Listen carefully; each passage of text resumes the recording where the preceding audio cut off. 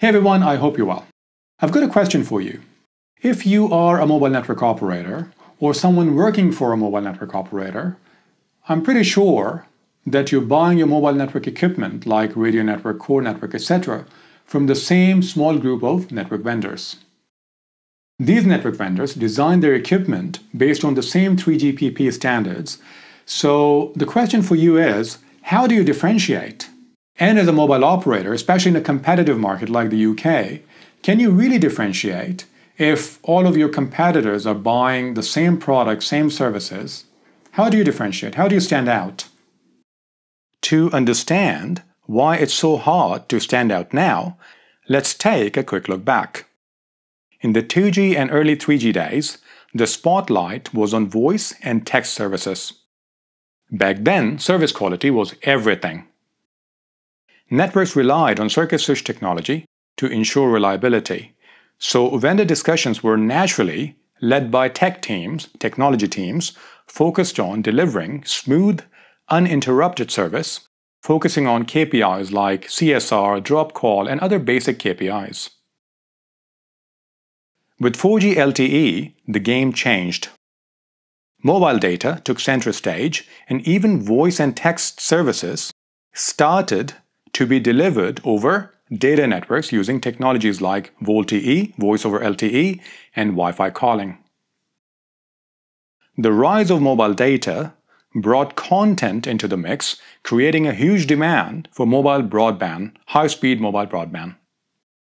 But mobile networks are shared resources, so guaranteeing a consistent quality of service, QoS, is always tricky. To manage this, many mobile operators turn to quality optimization solutions like video compression platforms, caching solutions like CDNs, etc., from niche vendors. And this is where the challenge around differentiation comes in. So you have a small group of vendors offering similar products and services to operators worldwide. Vendor discussions, still led by technology teams, where the focus is technical, which means things like network quality, network integration, interoperability, which is great, but that's not the primary goal of a business. The primary goal of a business is to look at business objectives. This made it tough for mobile operators to truly differentiate themselves in an increasingly standardized market. As mobile networks continue to mature and service quality differences become less noticeable, the traditional edge they offered is fading. This means operators need to explore new ways to stand out.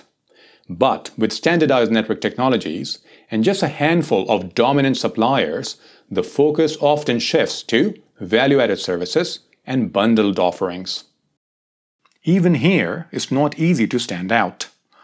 Mobile operators tend to offer similar packages voice, text, data, TV, broadband security, and also specialized B2B offerings like unified communications.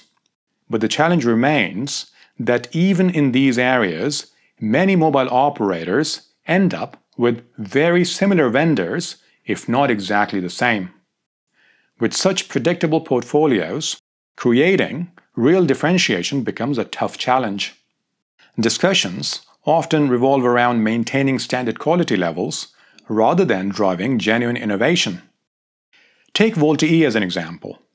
It highlights just how standardized mobile networks have become. VoLTE ensures consistent call quality by sticking to strict benchmarks like keeping latency under 150 milliseconds and using the codec AMRWB codec at a bit rate of around 12.65 kilobits per second. These standards do a great job of guaranteeing reliability, but they don't leave much room for the operators to truly differentiate themselves, especially in well-developed markets. So what should mobile operators do then to secure their relevance in this increasingly saturated market? The key lies in unlocking the full potential of the mobile network by making it flexible, which means moving away from a one-size-fits-all approach to designing networks that are tailored or customized to the needs of specific market verticals like healthcare, manufacturing, transportation, education, etc. This allows mobile operators to truly become customer-centric. Now the good news is that the 5G networks, more specifically 5G standalone, so these networks allow you to differentiate based on the network. But why is this network-based differentiation important? Because it allows you, the mobile operator, to position yourself for the market verticals aligned with your business goals. It puts you back in the driver's seat, letting you decide which market verticals to serve and enabling you to design and scale your network accordingly.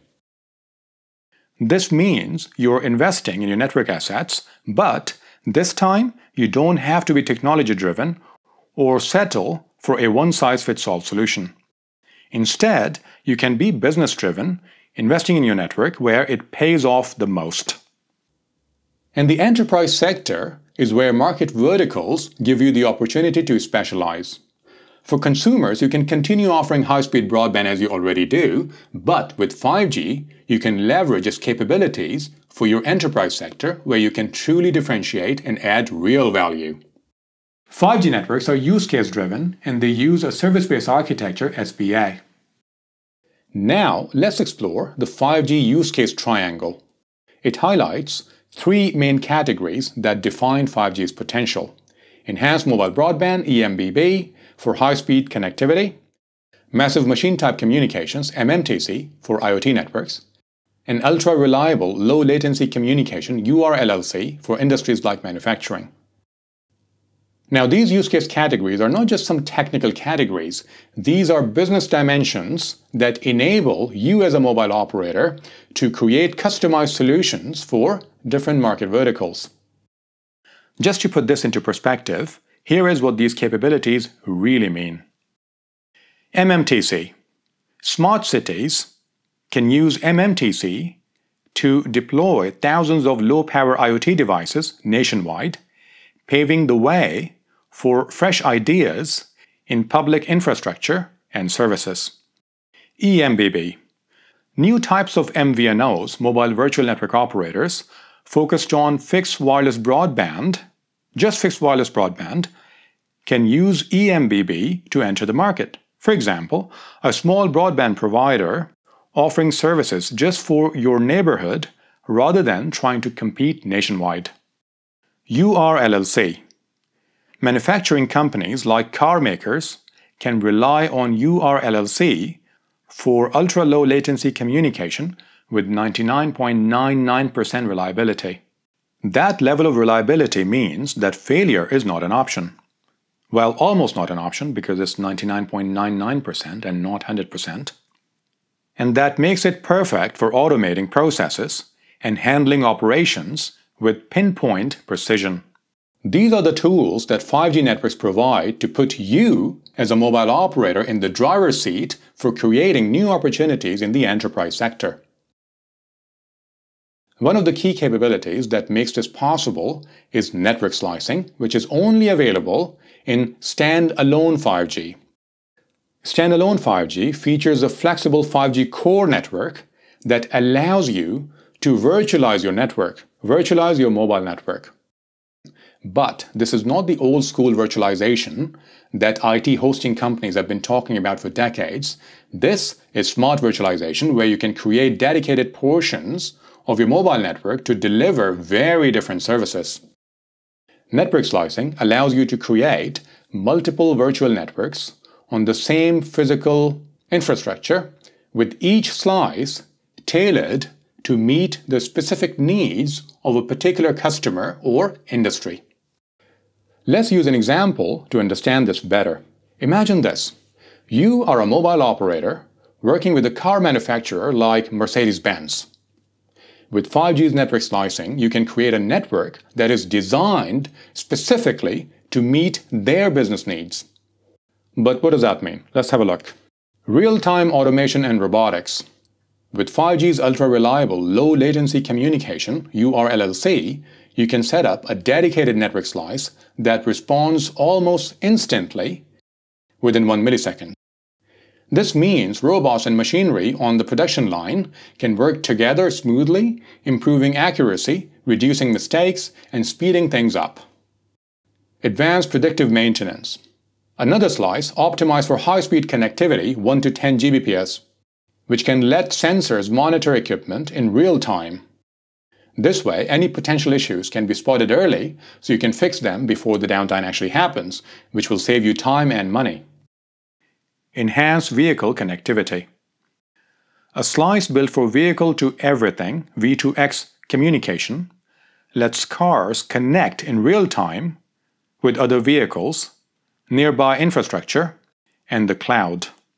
For example, edge cloud platforms process data like traffic updates and vehicle coordination close to 5G base stations, reducing delays. This makes automated driving safer and helps traffic flow better. These capabilities are not just limited to automotive manufacturing, they extend across industries like healthcare, logistics, and beyond. 5G's flexibility allows mobile operators to serve a wide range of use cases, whether it's connecting thousands of IoT devices in smart cities, enabling real-time communication for autonomous vehicles, or supporting ultra-reliable networks for industrial automation. At the heart of this is the ability to tailor network services to meet the specific needs of different industries creating opportunities for new revenue streams and stronger business partnerships. But for that to work, you have to make sure that your network selection, network design, is based on your business goals. But it's not easy because in many mobile operators, vendor discussions are led by the technology teams that are part of the CTO organization. These teams tend to focus more on things like network interfaces and protocols than the business goals or business drivers. Now let's look at why this gap between technology and business exists. So one of the key reasons for that is because the value chain has evolved a lot over the last few decades. When mobile networks started, they were all about basic voice and text services. The value chain was much simpler back then, and service quality was everything. In that kind of network-centric world, it made sense for technology teams or the CTO organizations to lead discussions. But today, the value chain is much more complex. It's no longer just about the network, it's about the new use cases, business opportunities, and aligning everything to revenue goals. That's where the challenge lies. In many mobile operators, targets, objectives, OKRs, and incentives are not aligned between technology and business teams. For example, technology teams are often incentivized based on technical metrics, things like network performance or uptime, etc., while business teams are focused on growth and revenue type things. This misalignment takes the focus away from the business goals and keeps vendor discussions more technology driven. So here's the bottom line. The real opportunity of 5G lies in the enterprise sector and not the consumer sector. But this opportunity window will not be open forever. It'll close eventually. And if your vendor discussions are still technology led, you're probably falling behind the competition. At CommsBrief, I help mobile operators bridge the gap between the business goals and technology strategy to unleash the true potential of 5G technology. With two decades of experience in the industry, I provide independent and honest advice tailored to your needs without any complications. If this resonates with you, visit commsbrief.com to check out my consulting services.